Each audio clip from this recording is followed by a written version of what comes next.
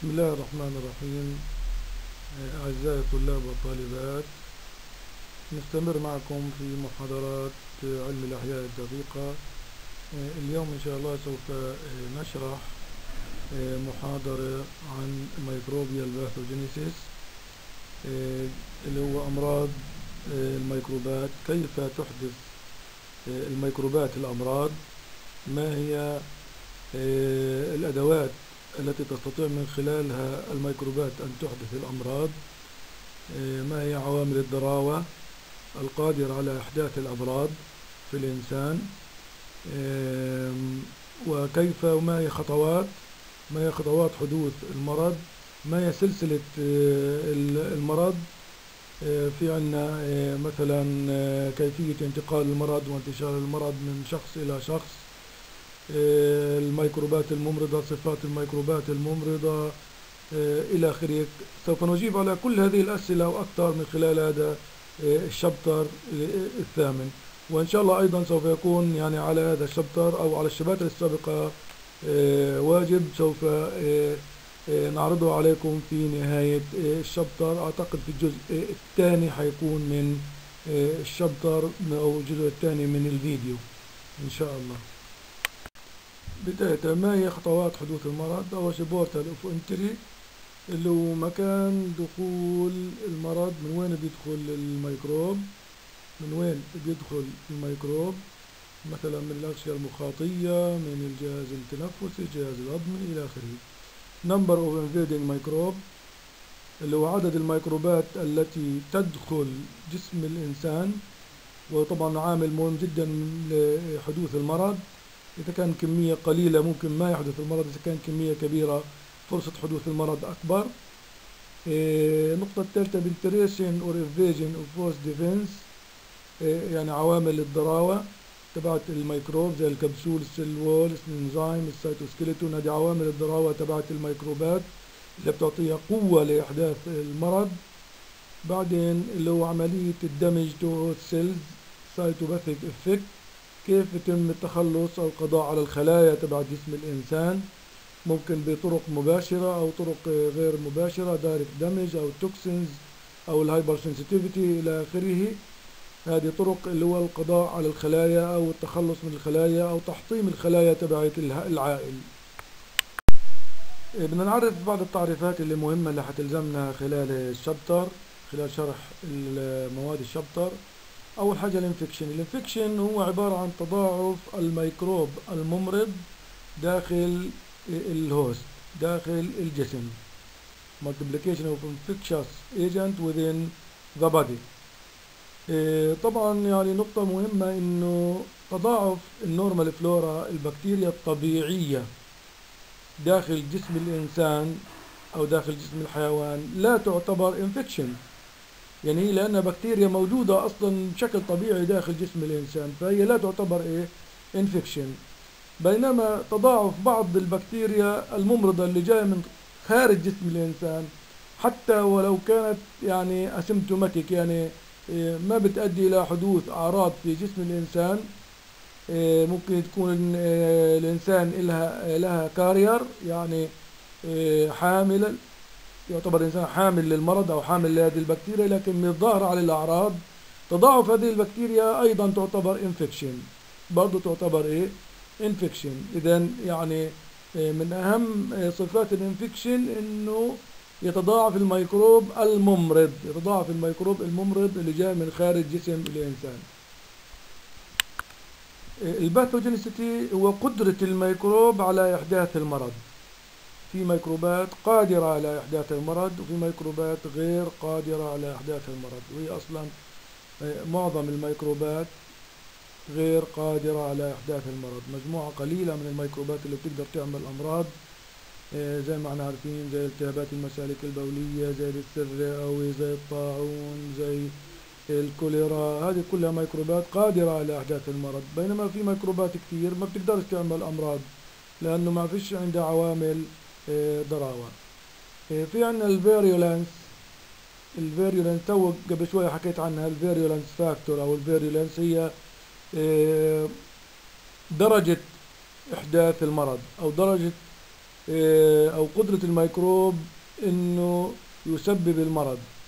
هي العوامل اللي بتكون موجودة في الميكروب عوامل بتكون موجودة داخل الميكروب تساعده وتعطيه القوة على إحداث المرض.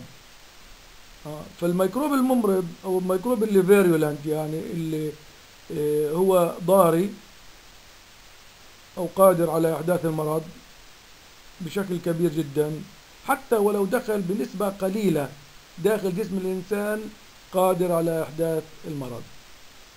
وزي ما حكيت لكم قبل شوية إنه في ميكروبات ما فيش عندها هذه عوامل الضراوة ما بتقدرش تعمل إيش؟ أمراض. وهذه طبعا يعني تنطبق على معظم الميكروبات.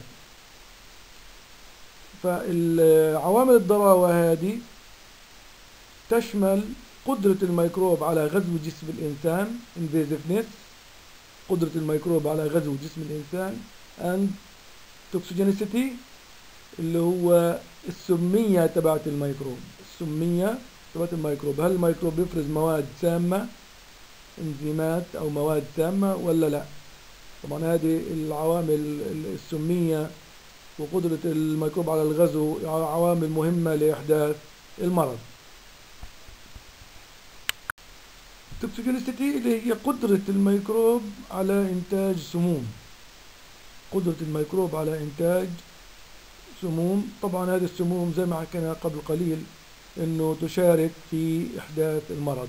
تشارك في إحداث المرض. ال invasion اللي هو قدرة الميكروب على غزو الجسم.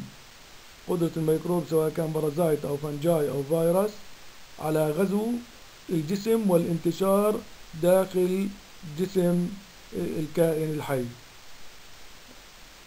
طبعا هذه يعني زي ما حكينا قبل شوية لها علاقة بال virulence factor عوامل الضراوة اللي هو العوامل التي تمد الميكروب بالقدرة على غزو الجسم. يعني مثلا آه، في ميكروبات ممكن آه، تكون موجودة في مكان ما في الجسم لكن مش قادرة تغزو الجسم. ما بتنتجش إنزيمات آه، بتحطم مثلا الخلايا أو بتحطم الجدران الموجودة في الجسم فبتضل مكانها.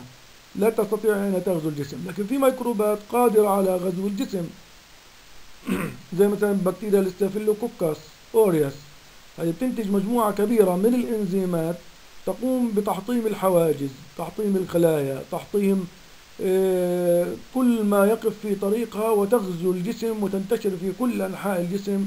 عشان هيك ال Staphylococcus aureus ممكن تعمل أمراض كثيرة داخل الجسم. ال pathogen هو الميكروب الممرض الميكروب الممرض. طبعا زي ما حكينا في pathogen وفي non pathogen ال non pathogen هو الميكروب الذي لا يستطيع إحداث المرض اللي هو بيكون جزء من البكتيريا ال normal flora البكتيريا الطبيعية الموجودة في أجسامنا أو في أجسام الكائنات الحية ولا آه، تستطيع أن تحدث إيش؟ المرض. في عندنا ال opportunistic pathogens هذه ميكروبات انتهازية بتكون موجودة أصلا داخل جسم الإنسان أو ممكن تيجي من برا و آه، في الوضع الطبيعي لا تستطيع إحداث المرض. ولكن إذا تغير هذا الوضع الطبيعي أصبح غير طبيعي ممكن تحدث المرض. إيش هو الوضع الطبيعي؟ آه، أو الوضع الغير طبيعي اللي ممكن يعني يأهل البكتيريا لإحداث المرض مثلا نقصة المناعة. واحد مناعته طبيعية الميكروب ما بيقدرش يحدث المرض. المناعة الخلايا المناعية جسم الإنسان لا آه، يمنع الميكروب من إحداث المرض. لكن نقصة المناعة قلة المناعة زي مريض الإيدز مثلا آه، فالمريض آه، يستطيع في هذه الحالة أنه يتغلب على جهاز المناعة لأنه ضعيف ويحدث المرض. وهذا طبعا في بعض البكتيريا الطبيعية في جسمنا في بعض البكتيريا الطبيعية في جسمنا اللي ممكن تعمل الكلام هذا في الوضع الطبيعي ما دام مناعة الإنسان طبيعية ما بتعمل مرض. لكن لو نقصت مناعة الإنسان ممكن تعمل مرض آه، أو آه، يعني تستغل الظرف معين من ظروف الجسم زي بكتيريا ال Clostridium آه، difficile. هذه البكتيريا موجودة في بعض أجسام الإنسان بشكل طبيعي. وعند أخذ المضادات الحيوية من بعض المرضى هذه البكتيريا لا تتأثر بالمضادات الحيوية وإنما البكتيريا المجاورة لها تتأثر تموت من المضادات الحيوية. فهذه البكتيريا ما تتأثرش في معظم المضادات الحيوية. إيه، تستطيع أنها تتمدد في المكان وتتكاثر بسهولة لأن البكتيريا المجاورة لها قد ماتت من المضادات الحيوية. فبتستغل الفرصة, الفرصة ممكن إيش تحدث؟ المرض. السابروفيتس هي الميكروبات الرمية التي تتغذى على مواد عضوية متحللة. تتغذى على مواد عضوية أو على كائنات متحللة. ففي الغالب هذه ليست ممرضة. لأنها لا تحتاج إلى آه، عائل لا تحتاج أنها تكون بارازايتك لأنها تتغذى على آه، مواد عضوية خارج جسم الإنسان مثلا. ففي الغالب ما بتكون غير ممرضة الميكروبات الرمية. بارازايت هي الميكروبات المتطفلة. هذه تحصل على الغذاء والمأوى. من كائنات أخرى من هوست آخر. وهذه في الغالب هي الميكروبات الممرضة لأنها تدخل داخل جسم العائل أو داخل جسم الإنسان مثلا وتحدث له المرض. تحصل على الغذاء تحصل على المأوى تحصل على environment وتتضاعف داخل آه، آه، جسم الإنسان وتحدث المرض. فهذه الميكروبات متطفلة. ال commensals هي ميكروبات بتكون موجودة داخل جسم الإنسان أو جسم الكائن الحي ممكن الحيوانات لكنها غير مؤذية في مكانها الطبيعي. يعني مثلا في كثير من البكتيريا بتكون موجودة في الأمعاء. مليارات الميكروبات موجودة في الأمعاء. هذه الميكروبات بتكون موجودة بشكل طبيعي في الأمعاء لا تحدث المرض. ولكن هذه البكتيريا لو انتقلت إلى مكان آخر ممكن تحدث إيش؟ المرض. ساعتها بتصير بنسميها اللي هو opportunistic انتهازية. مثلا الشيشة كولاي في الأمعاء طبيعية لكن لو انتقلت على الجروح أو انتقلت على المثانة ممكن تحدث آه، المرض. ممكن تحدث إيش؟ المرض. فالكومنسلز هي آه، ميكروبات تستفيد من جسم العائل تستفيد جسم العائل تحصل على الغذاء والمأوى ولكن العائل لا يستفيد منها. العائل لا يستفيد منها في الغالب. هذه العوامل المهمة لحدوث المرض. أو بسموها chain of infection سلسلة العدوى سلسلة العدوى. هذه العوامل لابد أن تتوفر جميعا لحدوث المرض. لو عامل من العوامل هذه لم يتوفر لا يحدث المرض. عشان هيك دائما بقولوا كنت تسمعوا في الأخبار هالأيام هذه في موضوع كورونا لابد من كسر سلسلة المرض لابد من كسر سلسلة اللي هو حدوث مرض الكورونا. ف أي عامل من هدول العوامل لو ما توفرش لفيروس كورونا ممكن إنه المرض يتوقف ولا ينتشر. يعني مثلا الناس كثير بتشوفوهم بيلبسوا كمامات. الكمامة هذه ليش بيلبسها الإنسان؟ عشان أول شيء لا ينقل المرض إلى الآخرين لا ينقل المرض إلى الآخرين أو لا ينتقل المرض إله. فإذا أنت منعت الميكروب من دخول جسمك منعت الميكروب من دخول جسمك وهذه هنا موجودة اسمها portal of entry into the host way into the body. منعت الميكروب من دخول جسمك معناته أنت منعت المرض حتوقف السلسلة حيقف المرض مش حيستمر. ف آه، منع أي وحدة من هدول سلسلة المرض تمنع المرض. أول واحدة منهم pathogenic organism لابد يتوفر الميكروب الممرض. An organism capable of causing disease. الميكروب الذي يحدث المرض. يعني مثلا لو اجى عطس في وجهك شخص وما عندوش فيروس كورونا مش هينتقل المرض. لابد يكون متوفر الميكروب إيش الممرض؟ ال portal of entry تو حكينا عنها قبل شوية هذه اللي هو مكان دخول المرض. مكان دخول المرض. ممكن يدخل المرض من الجهاز التنفسي من الجهاز الهضمي آه، من الجلد إلى آخره. Establishment and multiplication within the host.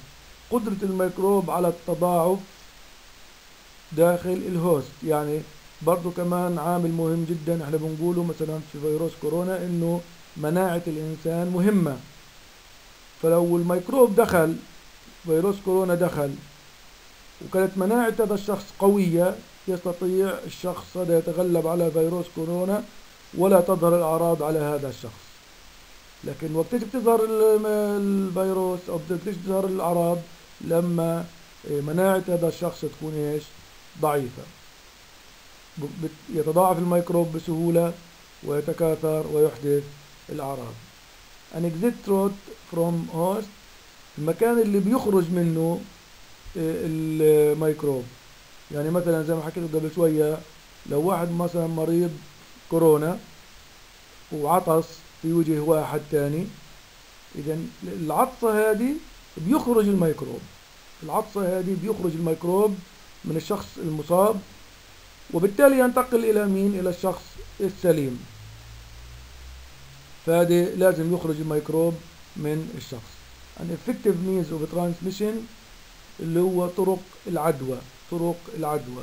يعني عن طريق مثلا الملامسة المباشرة عن طريق العطس عن طريق الاستنشاق عن طريق آه، آه، الأكل الطعام الملوث إلى آخره. طرق انتقال آه، المرض.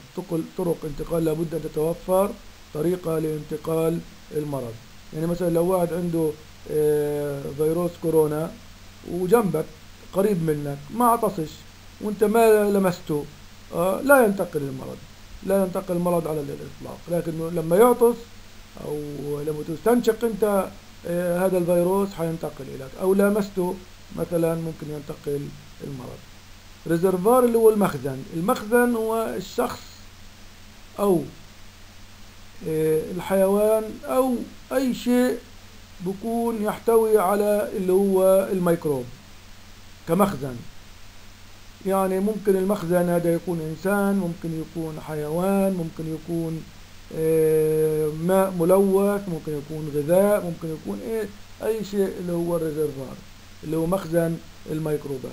يعني مثلا لو طبقنا هذا على فيروس كورونا الشخص المصاب بالفيروس وموجود الفيروس في جسمه هذا يعتبر مخزن reservoir يعتبر إيش؟ مخزن لأنه المخزن هذا ممكن ينقله إيش؟ إلى ناس آخرين. حتى كمان المخزن ممكن يعني أو الشخص يعني ممكن يكون مخزن ولا ولا ويكون شيء ظاهر عليه الأعراض.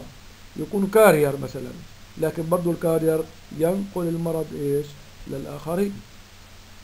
فهذه سلسلة العدوى هذه السلسلة لابد تتوفر جميعا. لو واحد منهم ما توفرش لن ينتقل المرض إلى الآخرين ولن يحدث إيه؟ المرض. عشان هيك دايما بنقول لازم نكسر سلسلة العدوى حتى لا يحدث المرض. نيجي لأول شرط من شروط حدوث آه، المرض بواسطة الميكروبات اللي هو portals of entry. اللي هو مكان دخول المرض أو الميكروب. portals of entry أول حاجة نحكي عن ال pathogen الميكروب الممرض ما هي صفات الميكروب الممرض؟ Access to host لازم يلاقي طريقه لدخول العائل. لازم يلاقي طريق لدخول العائل عن طريق طرق العدوى. Adhere to host issue tissue يلتصق بالأنسجة. لازم يلتصق بالأنسجة تبعت العائل penetrate or evade host defense لازم يتخلص من مناعة العائل أو يتغلب على مناعة العائل أو يقتحم يدخل على داخل جسم الإنسان بدون أي مشاكل. damage host tissue يقوم بتحطيم خلايا العائل. فهذه صفات الميكروب الممرض. يستطيع الميكروب الدخول إلى جسم الإنسان عن طريق ثلاث طرق.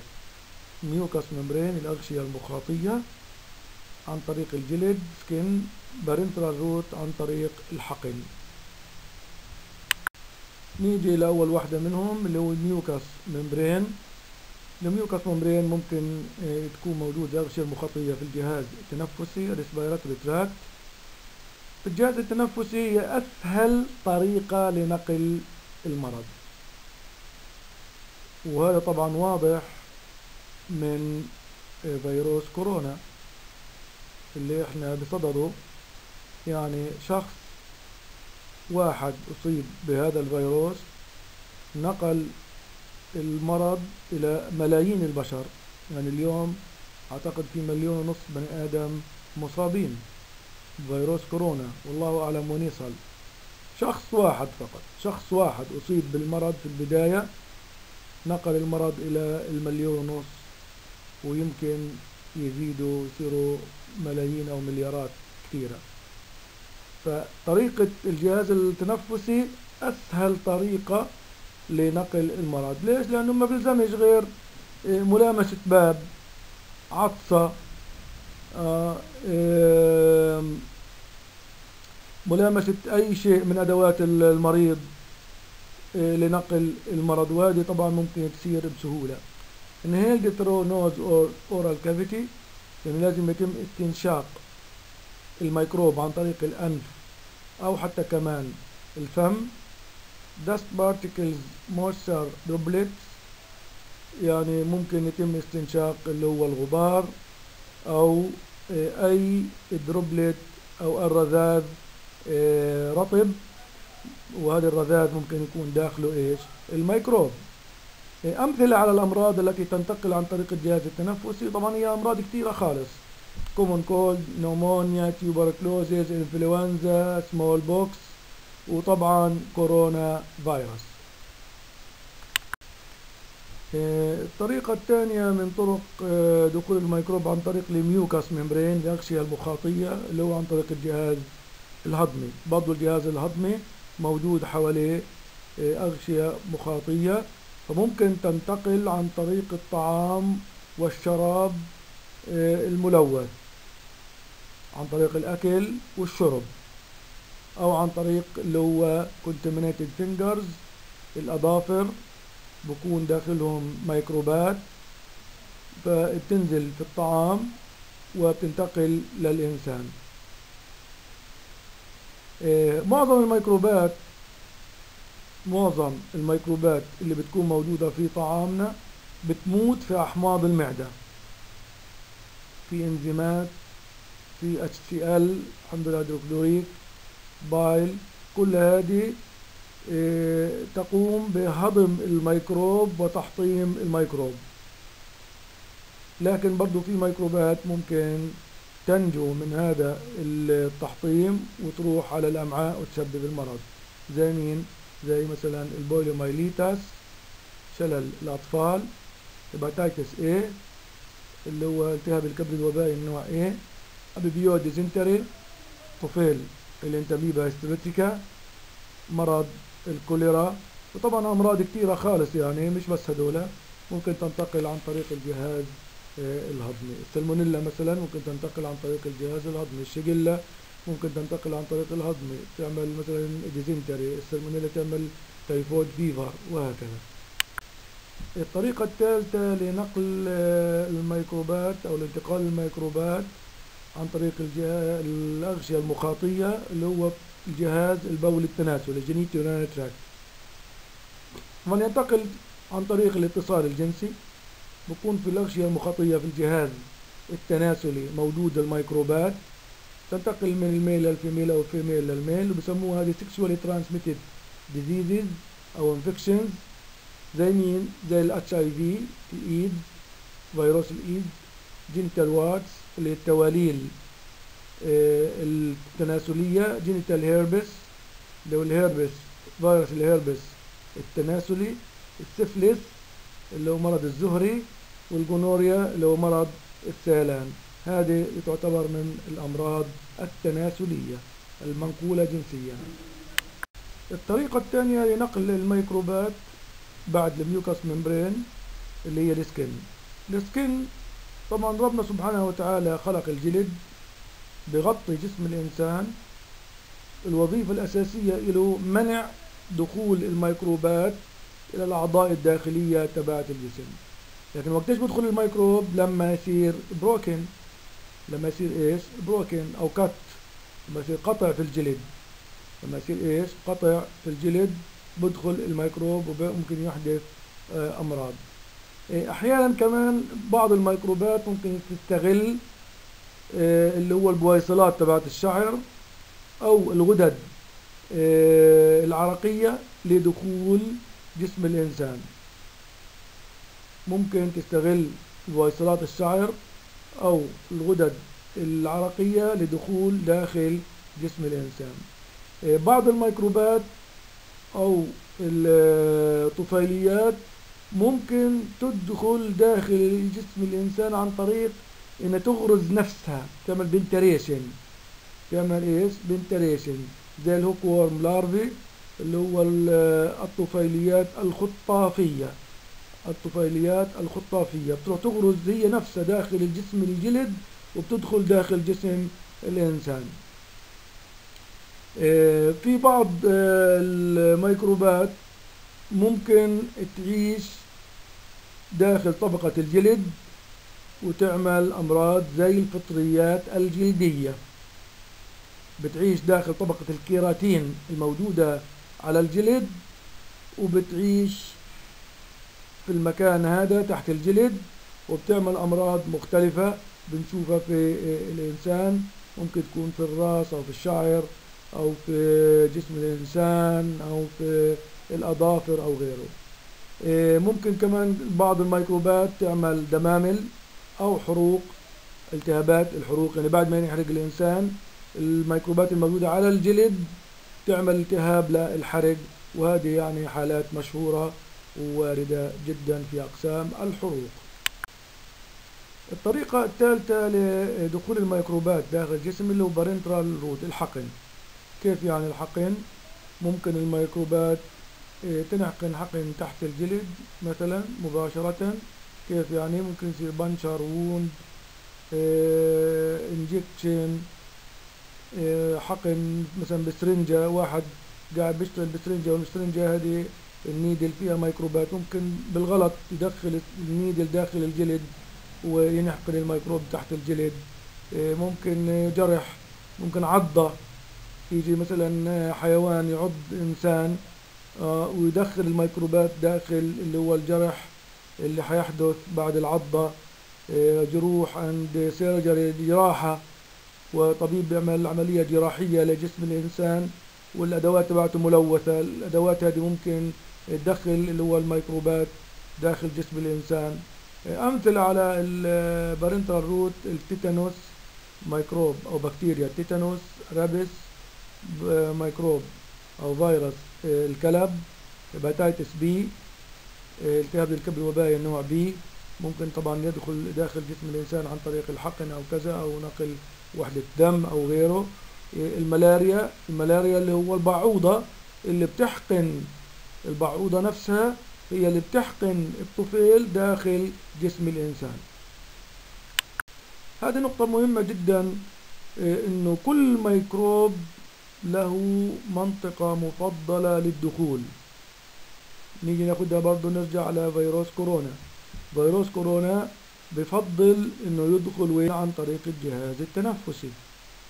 بفضل يدخل عن طريق الجهاز التنفسي. إيه، حتى لو الإنسان أكل إيه، أكل ملوث بفيروس كورونا بموت فيروس كورونا في أحماض المعدة ما بصيرش عدوى. ما بيقدرش يخش عن طريق الجهاز الهضمي. إنما المنطقة المفضلة له اللي هو آه، الجهاز التنفسي. مثلا الرئ- الرئوي مفضل له الجهاز التنفسي. الكوليرا مفضل إلى الجهاز الهضمي. الكوليرا. ال hepatitis آه، B مثلا مفضل آه، دخوله داخل دم جسم الإنسان عن طريق الحقن أو غيره.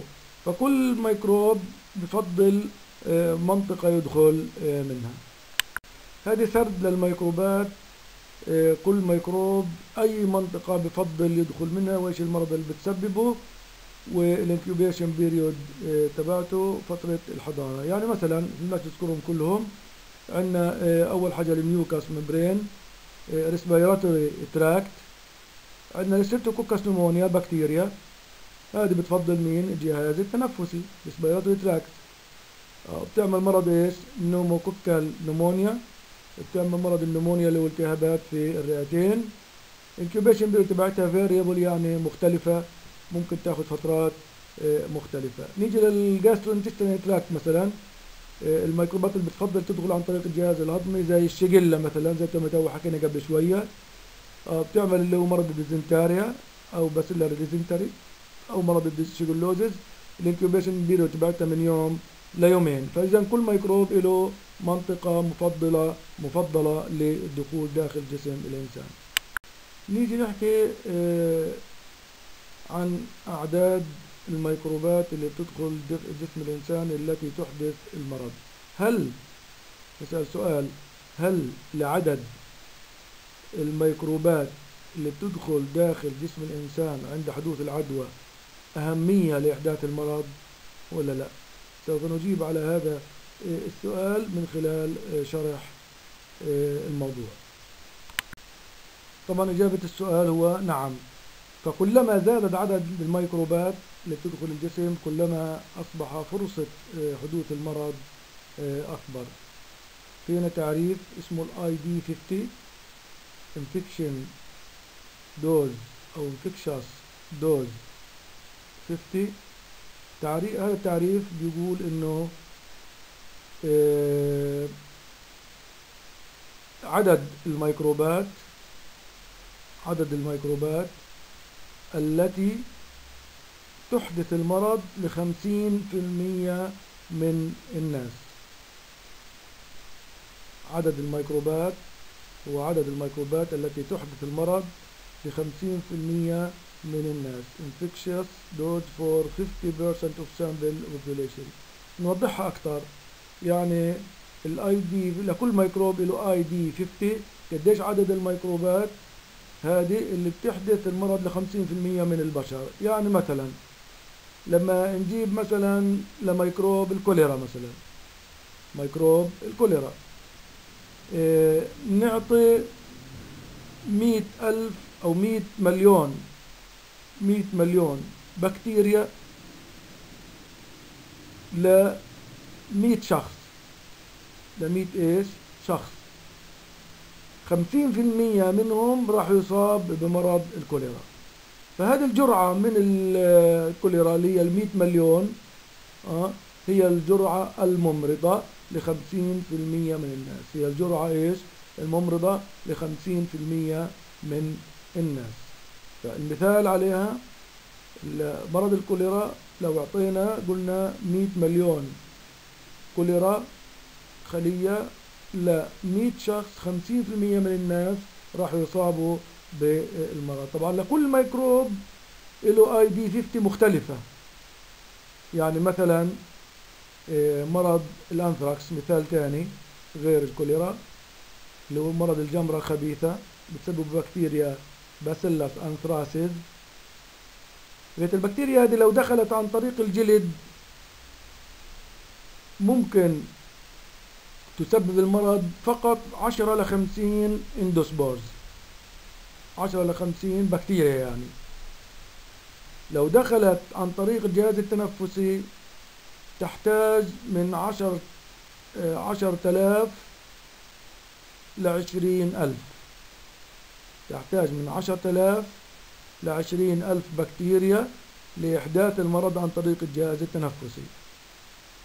لو دخلت البكتيريا الأنثراكس هذه عن طريق الجهاز الهضمي gastrointestinal تحتاج من 250 ألف لمليون بكتيريا. إذا حتى مكان دخول المرض بيختلف آه، العدد الميكروب اللازم لإحداث المرض. إذا ال ID 50 نعيد تاني هي الميكروب أو عدد الميكروبات التي تؤدي إلى حدوث المرض عند 50% من الناس. نيجي لل LD 50 LD50 lethal dose. هذه الجرعة من الميكروب الجرعة من الميكروب القادرة على قتل 50% من الناس. الجرعة من الميكروب القادرة على قتل 50% من الناس. فهذه برضو بت يعني بتحدد قدرة السموم اللي بتنتجها البكتيريا. إيه، نجيب أمثلة زي ما موجودة هنا في الشريحة. مثلا بكتيريا Clostridium botulinum بتنتج سم اسمه botulinum toxin. هذا الجرعة منه القادر على قتل 50% من الناس اللي هو 0.03 نانو جرام per كيلو جرام ثلاثة من مية ثلاثة من مية نانو جرام per كيلو جرام قادرة على قتل خمسين في المية من البشر خمسين في المية من الناس. يعني لو أعطينا الجرعة هذه الجرعة هذه لمية بني آدم خمسين في المية منهم بموتوا من الجرعة هذه. طبعا لكل واحد الجرعة هذه لكل واحد من الناس. Shiga toxin اللي هي في عندنا بكتيريا اسمها شيجيلا تنتج toxin اسمه Shiga toxin. ال Shiga toxin هذه الجرعة تبعتها القادرة على قتل 50% من الناس 250 نانو جرام per كيلو جرام عندنا بكتيريا اسمها Staphylococcus aureus تنتج toxin اسمه Staphylococcus أو staphylococcal enterotoxin الجرعة القاتلة تبعته 1350 نانو جرام per كيلو جرام الجرعة القاتلة تبعته 1350 نانو جرام بير كيلو جرام إذا هذه آه، تعريف ال LD50 هي الجرعة القادرة على قتل 50% من الناس ال LD50 بينما ال ID50 هي الجرعة القادرة على إحداث المرض عند 50% من الناس. نيجي لعامل مهم من عوامل آه، حدوث المرض وهو التصاق الميكروب الممرض. التصاق الميكروب الممرض على خلايا العائل. هل الالتصاق أو قدرة الميكروب على الالتصاق في الميكروب الممرض لها أهمية ولا ما لهاش؟ أهمية. نجيب على هذا السؤال من خلال آه، ال chapter. آه، إذا الالتصاق التصاق الميكروب في خلايا العائل هو خطوة مهمة لحدوث المرض. لكن السؤال هنا كيف يلتصق الميكروب بخلايا العائل كيف يلتصق الميكروب بخلايا العائل آه، دائما الميكروبات بيكون موجود عليها إشي اسمه ligand آه، أو adhesins هذه عبارة عن بروتينات بتكون موجودة على خلية البكتيريا على خلية الميكروب وتلتصق بمستقبل على خلية العائل. تلتصق ب receptor اللي هو مستقبل على خلية العائل. إذا ال ligand أو ال adhesins بتكون موجودة هذه على الميكروب وبتلتصق بشيء مهم جدا في خلية ال receptors. طبعا هذا الالتصاق لابد أن يكون إيش؟ specifically خاص. يعني مش أي ميكروب بيلتصق على أي خلية في العائل عشان هيك في خصوصية في الأمراض. يعني مثلا في أمراض بتعمل بالجهاز أمراض الجهاز التنفسي زي الكورونا فيروس مثلا. تعمل أمراض بالجهاز التنفسي. ليش بيعمل فقط أمراض بالجهاز التنفسي؟ لأنه له مستقبلات له ligand أو adhesins وله مستقبلات على خلية خلايا العائل. بلزقوا مع بعض specifically بخصوصية كبيرة جدا. بنسميها دائما إيه؟ زي الضبة والمفتاح زي الضبة والمفتاح. إنه المفتاح هذا ما بيفتح آه، إلا باب واحد. كذلك هذا الميكروب لا يلتصق إلا بنوع واحد من الخلايا إلا بنوع واحد من الخلايا.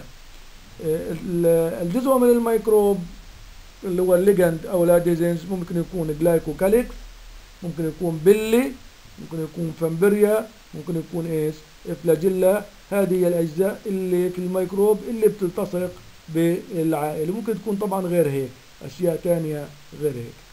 زي ما أنتم شايفين في الصورة اللي فوق اللي على آه، الشمال أقصى الشمال هاي ميكروب في adhesin آه، أو ligand موجودة على الميكروب زوائد موجودة على الميكروب وملتصقة بإيش؟ ب receptor على خلية العائل.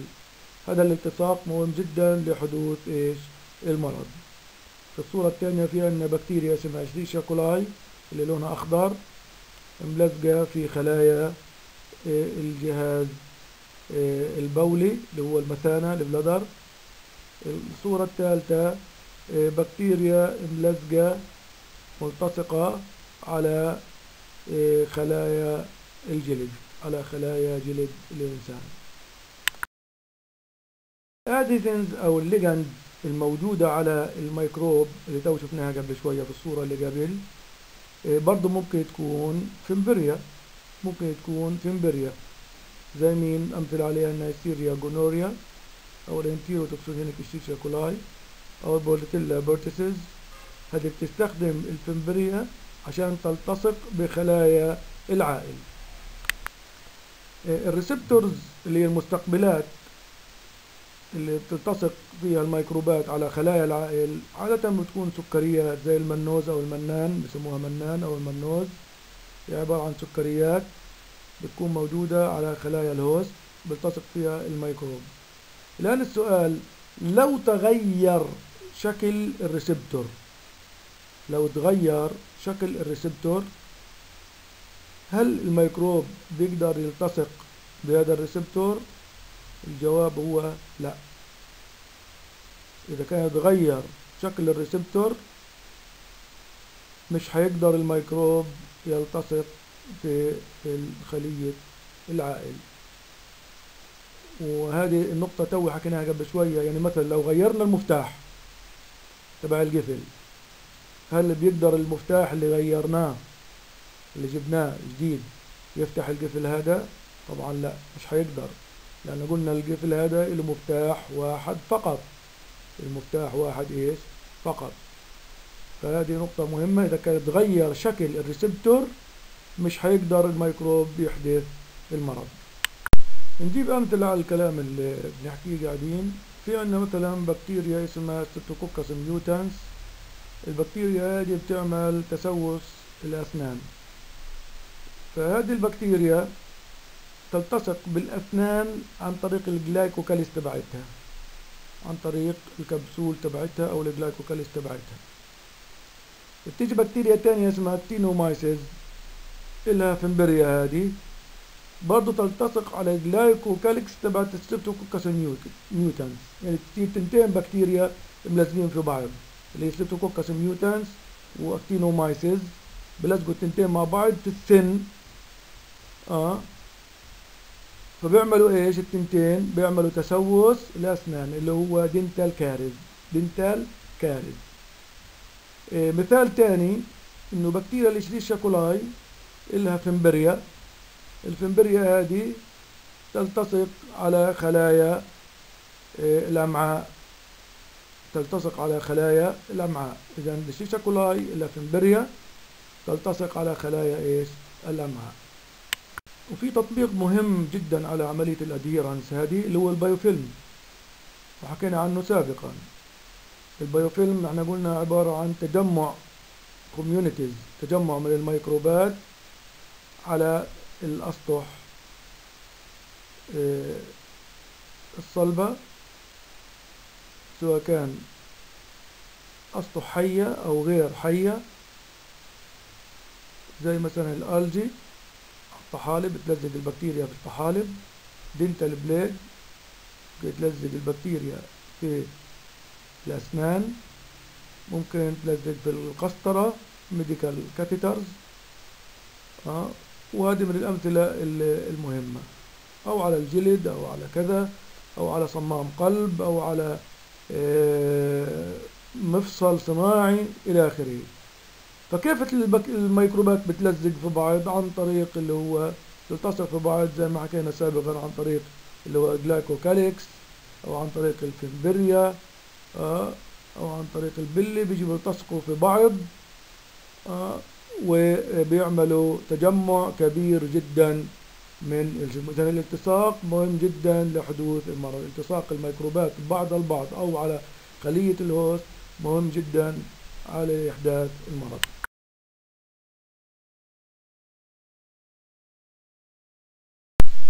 في سؤال مهم جدا وهو كيف يستطيع الميكروب الممرض الدخول والتغلب على مناعة جسم الإنسان؟ إحنا حكينا سابقا إنه لابد أن تتوفر في الميكروب عوامل قادرة. العوامل هذه بتكون متوفرة في الميكروب العوامل هذه قادرة على إحداث المرض سميناها virulence factors نجيب مثال عليها ال virulence factor هذه عوامل الضراوة اللي هو الكبسول اللي هي الحافظة تبعت الميكروب. طبعا الحافظة الكبسول هذه بتزيد قدرة الميكروب على إحداث المرض. وحكيناها سابقا قلنا لكم إنه الميكروب يستطيع أن يتهرب من عملية البلعمة. هو ده الميكروب اللي له كبسول. الميكروب اللي له كبسول يستطيع أن يتهرب من عملية البلعمة عملية ال phagocytosis أمثلة على الميكروبات هذه زي Streptococcus pneumoniae Klebsiella pneumoniae Haemophilus influenzae Bacillus anthracis Yersinia pestis هذه الميكروبات اللي لها إيش؟ كبسول. هذه الميكروبات اللي لها كبسول. طب كيف مناعة الإنسان بدها تتخلص من هذا الميكروب اللي له كبسول؟ هو بتخ... بيهرب من جهاز المناعة. طب كيف الإنسان بده يستطيع إنه يتغلب على هذا الميكروب؟ عن طريق ال antibodies الأجسام المضادة. تيجي الأجسام المضادة تلتصق بالكبسول فتيجي اللي كرات الدم البيضاء بتمسك بال antibody اللي مرتبطة بالميكروب وبتدخله داخلها في عملية ال phagocytosis. بتصير عملية ال phagocytosis أسهل لما يلتصق الأجسام المضادة على الميكروب. إذا بنحل هذه العملية وبنحل هذا التحايل تبع الميكروب عن طريق إنه إيش؟ إنتاج الأجسام المضادة في جسمنا وبنلزقها وين؟ في الميكروب. بنلزقها على الكبسول. فبصير أسهل على كرات الدم البيضاء إنه تعمل phagocytosis لهذا الميكروب لانها بتمسك في ال antibody وبتعمل phagocytosis بسهولة. إيش في كمان عوامل ضراوه للميكروب؟ اللي هو مركبات ال cell wall زي إيش؟ في M protein إيش بيعمل ال M protein هذا؟ بيعمل attachment للميكروب على ال epithelium cells يعني بسهل عملية التصاق الميكروب بالخلايا الطلائية. وش بيعمل كمان؟ بيمنع عملية ال phagocytosis. ال M protein هذا بيشتغل زي الكبسول وبيمنع عملية ال phagocytosis. في عندنا ال Opa برضو Opa protein. هذا عبارة عن بروتين خارجي موجود خارج ال cell wall أو على ال cell wall برضو بيساعد الميكروب على الالتصاق بخلايا العائل. إيش في كمان waxes اللي هي آه، زي آه، مواد شمعية المواد الشمعية هذه موجودة في بكتيريا زي Mycobacterium tuberculosis بكتيريا السل الرئوي. برضو هذه بتمنع عملية ال phagocytosis. فهذه برضو عوامل بتساعد الميكروب على إحداث المرض. إيش في كمان عوامل بتساعد الميكروب على إحداث المرض اللي هو الانزيم إنزيمات. بعض. مش كل. بعض. الميكروبات تقوم بإنتاج آه، اللي هو مجموعة من الإنزيمات. إيش الإنزيمات اللي بتنتجها البكتيريا أو الميكروبات؟ في عندنا مجموعة من الإنزيمات بسموها طبعا extracellular enzyme أو exoenzymes هذه طبعا وظيفتها الإنزيمات هذه تقوم بتحليل ما بين الخلايا أو بتعمل جلطة أو بتحلل جلطة. نشوف أمثلة عليها. مثلا إنزيم ال coagulase بتفرزه بكتيريا ال Staphylococcus aureus هذا إنزيم ال coagulase بيعمل جلطة صغيرة بيعمل جلطات صغيرة. بحول ال fibrinogen الموجود في دم الإنسان إلى fibrin clot. جلطة صغيرة بحول ال fibrinogen السائل في دم الإنسان إلى مادة صلبة إلى clot جلطة يعني بسموها fibrin clot فبيجي الميكروب بتخبى داخل هذه الجلطة. من خلال تخبايته هذه داخل الجلطة يستطيع أن يهرب من عملية أو من جهاز المناعة من عملية ال phagocytosis بالأحرى. بيهرب من عملية ال phagocytosis أو بيهرب من جهاز المناعة داخل جسم الإنسان. بروح هذا الميكروب إلى أي مكان داخل الجسم من خلال هذه ال clot. لما يصل بروح بفرز إنزيم تاني اسمه ال kinase. staphylokinase مثلا. هذا بدوب الجلطة. لما بده يطلع من هذه الجلطة هو بروح بدوب إيش؟ الجلطة وبيطلع منها. شو الإنزيم اللي بيفرزه اللي هو ال kinase. في عندنا إنزيم تاني. hyaluronidase hyaluronidase هذا بيحطم البناء اللي موجود بين الخلايا الضامة ال connective tissue بحطم البناء اللي موجود بين ال connective tissue فبالتالي بيسمح للميكروب إنه يتحرك بحرية. يعني كأنه ال connective tissue عبارة عن حيطة. بده يجي الميكروب يدخل بلاقي الحيطة بتمنع الحيطة هذه. فبده يدوب ما بين اللي هو الخلايا يفتح ثغرة في هذه الحيطة بيفرز انزيم ال hyaluronidase فبحطم ما بين الخلايا وبيدخل بسهولة. في إنزيم تاني ال collagenase ال collagenase ال collagenase ال collagenase هذا تنتج مجموعة من البكتيريا زي ال Clostridium برضو هذا بحطم ما بين الخلايا البروتين كولاجين. بتكون موجودة بين الخلايا هذه. بحطم بين الخلايا عشان يقتحم الجسم. في مشكلة بتأرق الميكروبات اللي هو وجود ال IgA anti الميكروبات هذه بتروح بتنتج اللي هو اي جي اي انزيمات بتحطم هذا إيش؟ ال antibody destroy antibodies فبتتخلص من إيش؟ من الأجسام المضادة. في نقطة مهمة هنا. لما يجي الميكروب يدخل داخل جسم الإنسان إحنا عارفين إنه جسمنا بيكون له أجسام مضادة. الأجسام المضادة هذه تشكل عائق تشكل, تشكل مشكلة مقلقة للميكروب. الأجسام المضادة هذه حتيجي تمسك في الميكروب وتمنع الآن الميكروبات داخل أجسامنا تتحرك عن طريق شبكة شبكة من الخيوط بسموها cytoskeleton cell cytoskeleton الشبكة هذه بتسهل حركة الميكروبات.